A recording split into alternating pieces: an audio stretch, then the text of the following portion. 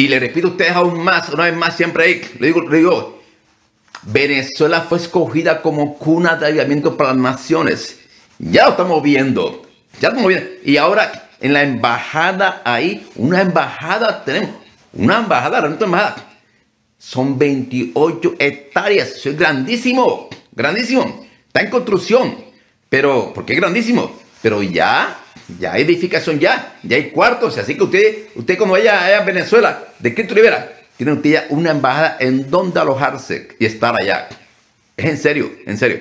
Esto es parte de Jesucristo. Porque de ahí, en esa embajada, va a llegar, va a llegar mucha gente de, de otros países a bajarse ahí a entrenarse en guerra espiritual de ahí y también de otros estados de Venezuela, ahí entrenarse. Pastores, líderes, quieren entrenarse, voy físicamente ahí. Duran una semana ahí, una semana aprendiendo ahí, tan, tan. Y usted después de la semana esa, porque vamos a cuadrar eso, que va a ser una semana, todos los días, todos los días usted, todo el día usted aprendiendo, viendo la enseñanza, y usted va a aprender ahí liberación y luego usted se regresa a su, iglesia o a su estado a poner en práctica lo aprendido ahí.